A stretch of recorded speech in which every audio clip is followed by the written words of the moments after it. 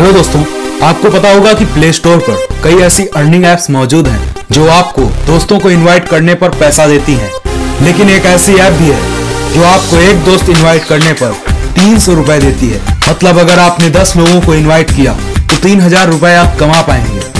और तो और ये पैसे आप बैंक या पेटीएम कहीं भी ले सकते हैं। सिर्फ़ दिन में आधा या एक घंटे काम करके आप आसानी से पैसा कमा सकते हैं। लिंक डिस्क्रिप्शन में दिया गया है। वहाँ से आप इस ऐप को डाउनलोड कर सकते हैं।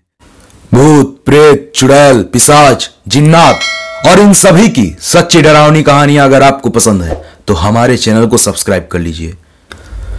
मेरे दादा बिठूल दास लखानी, शहर के जाने माने घी के व्यापारी थे।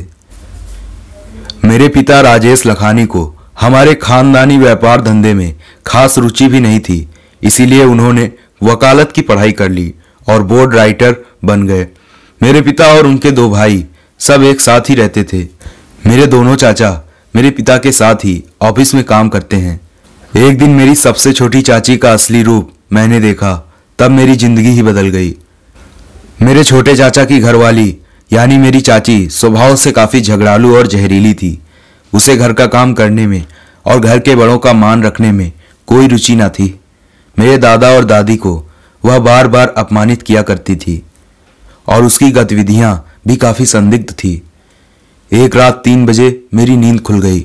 मैंने खिड़की से बाहर देखा तो पता चला कि मेरी छोटी चाची अपने बाल खोलकर बरामदे में खड़ी आकाश की ओर देखकर कुछ बड़बड़ा रही हैं। मैंने फ़ौरन नीचे आकर और पड़ताल की तो देखा कि चाची ने अपने मुँह पर खून लगा रखा है और उनके हाथ में मरी हुई बिल्ली की मुंडी है और दूसरे हाथ में बिल्ली का धड़ है। चाची का यह वहसी रूप देखकर मैं तो दहल गया और मेरे हाथ पाँव सुन्न पड़ गए।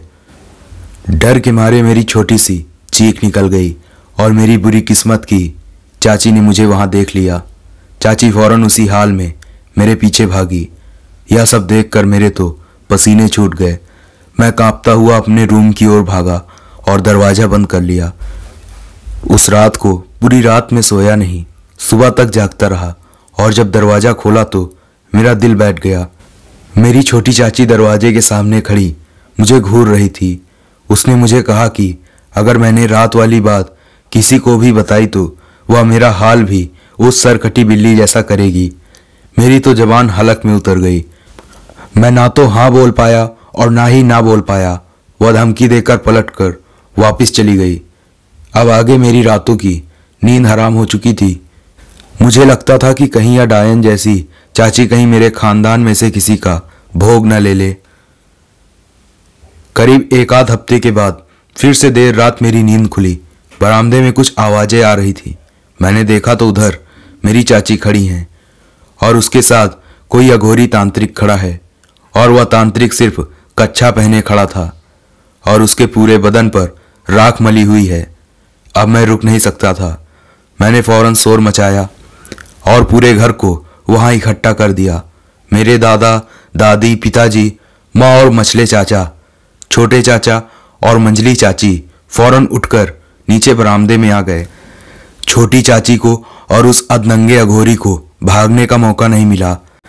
हम सबने उन दोनों को घेर लिया और वहीं मेरे छोटे चाचा ने मेरी डायन जैसी चाची को खूब धोया और उस अघोरी को भी मारकर भगाया। अगले ही दिन छोटे चाचा का तलाक हो गया।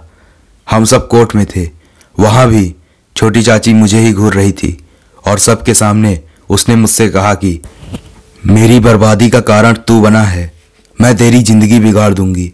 इतना बोलते ही मेरे पिता और मेरे दोनों चाचा मेरे आगे खड़े हो गए और उस डायन को मुझसे दूर धक्का दे दिया। उसकी धमकी सुनकर मैं पूरी तरह खौफ में था। हम सब कोर्ट से घर आ गए। धीरे धीरे मैं चाची और उनकी दी हुई धमकी को भूलने लगा। पर एक दिन मेरा डर सच्चाई में बदल गया। जब फिर से देर रात मेरी नींद खुली, जैसे ही मैंने कंबल हटाया तो देखा कि मेरी एक्स चाची और वह अधनंगा अघोरी मेरे पलंग के पास खड़े हैं।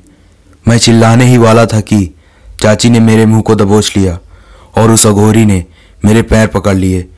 फिर चाची ने एक कैंची से मेरे कुछ बाल काटे और मेरी उंगली पर सुई घुसाई और थोड़ा सा बूंद भर मेरा खून लिया और अलमारी से मेरे अंग वस्त्र निकाल कर अपनी थैली में भर लिए और फिर वह दोनों मुझे पलंग से नीचे फेंक कर भाग निकले। मैंने फिर से शोर मचाया, पर सब इकट्ठा हुए तब वह दोनों दूर जा चुके थे। मुझे नहीं पता वह डायन औरत, यानी मेरी एक्स चाची और वह अघोरी मेरे बाल, खून और कपड़ों के साथ क्या करने वाले हैं। पर मैं खौफ में जी रहा हूँ। हमने पुलिस में भी कंप्लेन की, पर उन लोगों का कोई पता नहीं चला। कई लोग कहते हैं कि मैली विद्या करने वाले लोग अपने शिकार की चीज़ों के सहारे उसे वश में कर लेते हैं और उसे डरा सकते हैं। उसका खून भी चूस सकते हैं और कभी भी उसे बीमार बना सकते हैं या मार भी सकते हैं। ऊपर वाला जाने मेरा अंजाम क्या होगा। मैं तो आज भी पूरी तरह से दहशत में जी रहा हूँ।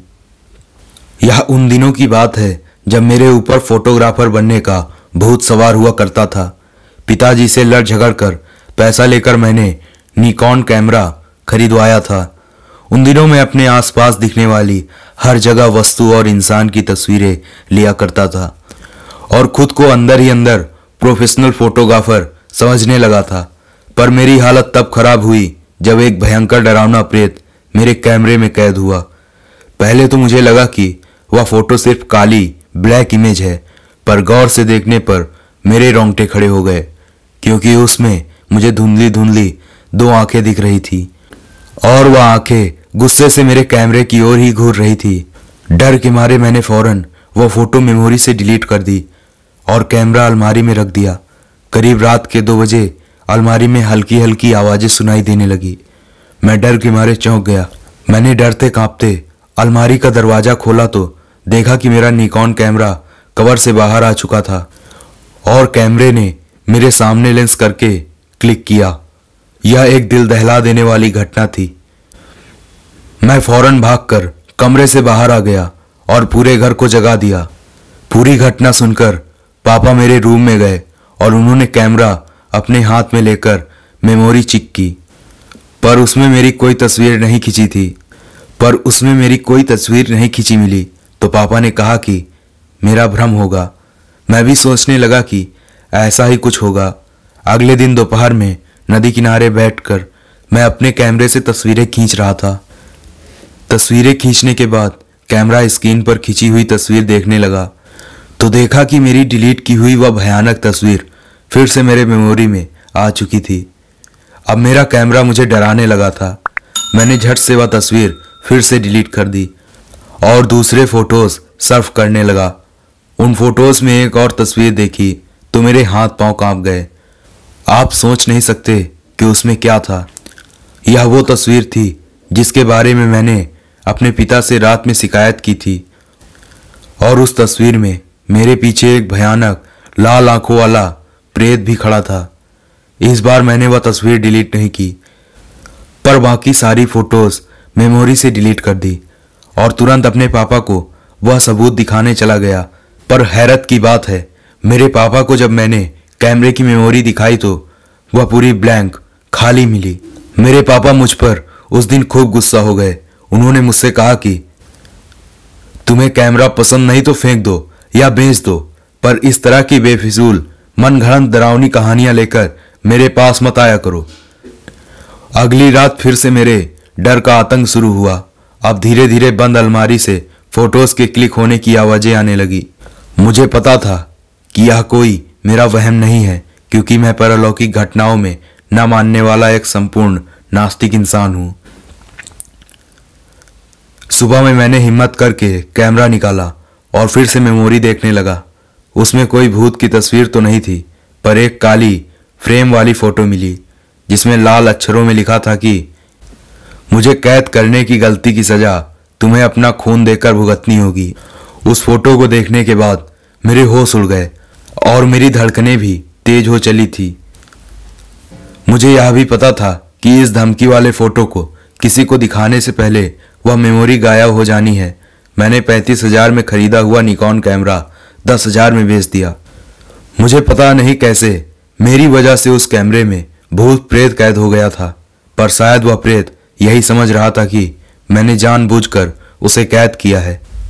अब मुझे फोटोग्राफी और कैमरे के नाम से भी चिढ़ है और हर वक्त डर लगा रहता है कि कहीं कैमरे वाला प्रेत मुझे कोई नुकसान न पहुँचा दे। आप घर बैठे असली पैसा कमाएँ। अपने स्मार्टफ़ोन की मदद से सिर्फ़ एक दोस्त को इनवाइट करने पर तीन सौ रुपए कमाएँ। डाउनलोड करें हेलो ऐप लिंक डिस्क्रिप्शन में दिया गया है।